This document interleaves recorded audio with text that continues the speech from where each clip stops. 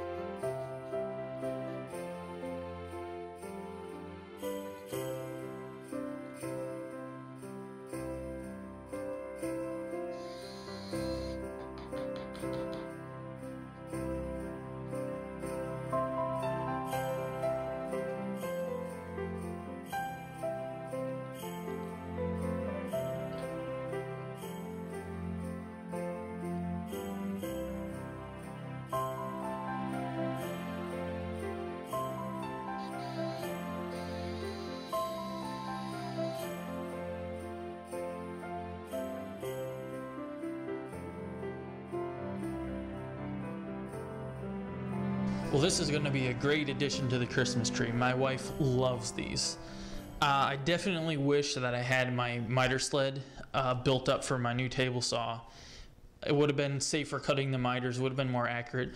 But I guess that goes to show that you can build these types of projects without having a, a nice miter sled. You can do it with a miter saw and it comes out just as good. I would like to wish the best of luck to all the other guys and gals that participated in the Up- Upcycle Challenge. It was definitely a lot of fun, and thank you, Sterling, for putting on this challenge. Like I said, there's a link to the playlist below so you guys can check out all the different videos that were put out. If you're new to the channel, I'd love to have you subscribe. We put out a new video pretty much every week, so we'd love to have you back. Please let me know what you think about these picture frames in the comments down below and give us a thumbs up. It definitely helps us out. I'm Tyler. I like to do it myself, and we will see you next time.